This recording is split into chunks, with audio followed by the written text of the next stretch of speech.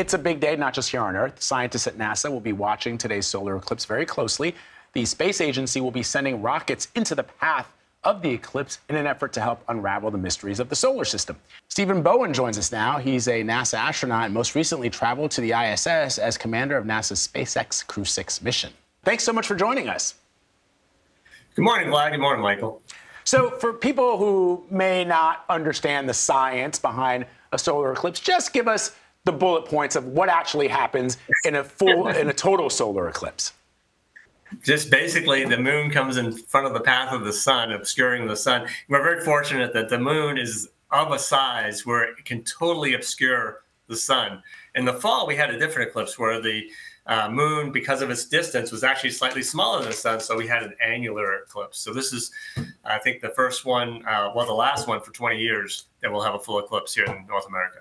Uh, Stephen, when we see the actual eclipse, if you're on the path, what are you actually going to see on the ground? Will it really look like nighttime?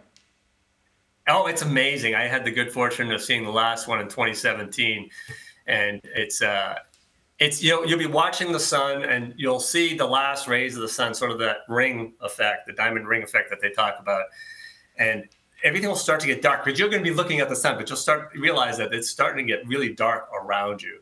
Uh, you don't really see too much of a shade, a change in the amount of sun you're seeing noticeably until sort of toward the end, just before totality. And it, it'll get dark. It'll actually get quiet, which I surprised me. The temperature dropped a few degrees while you're standing there. It's uh, it's really an amazing sight to see. So wait, I, I, I, was just telling Michael that my wife and I went to see the 2017 eclipse uh, in Central Park, and I was also surprised by how quiet it got. Is that a celestial yeah. phenomenon, or is that just everybody gazing up into the sky?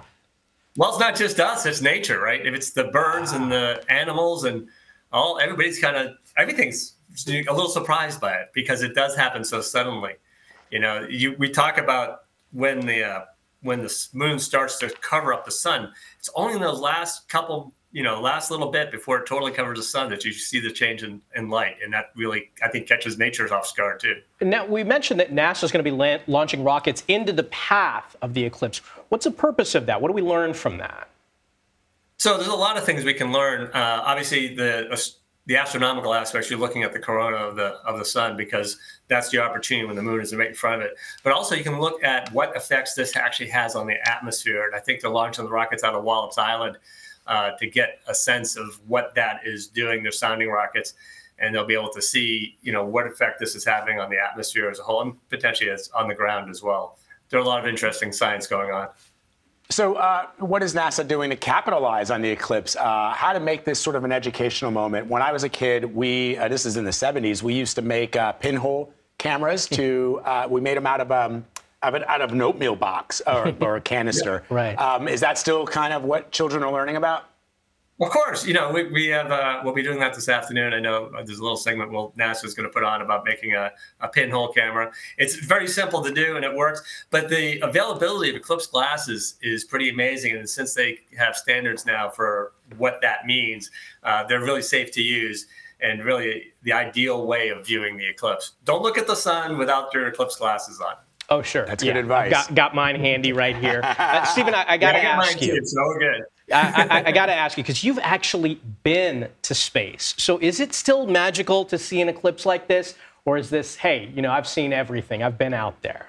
Oh, no, no, no. This is absolutely magical. Every, you know, it's, it's, Earth is amazing. You know, you don't have to go to space to get that perspective. You just have to step outside, absorb what is happening around you. And today's celestial event is just absolutely magical. It's it's a truly a once in a lifetime event.